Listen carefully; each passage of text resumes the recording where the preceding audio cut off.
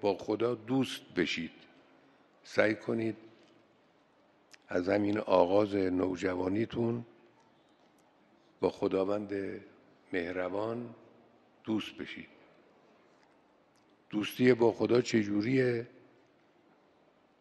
یکی از راه های دوستی با خدا همینه که شما در نماز با خدا حرف می‌زنید توجه داشته باشید. که دارید با خدا صحبت می‌کنید با خدا حرف می‌زنید.